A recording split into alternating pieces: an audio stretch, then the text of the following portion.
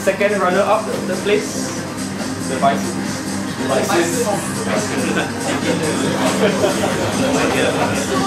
Uh, wait lah, I, I go that side.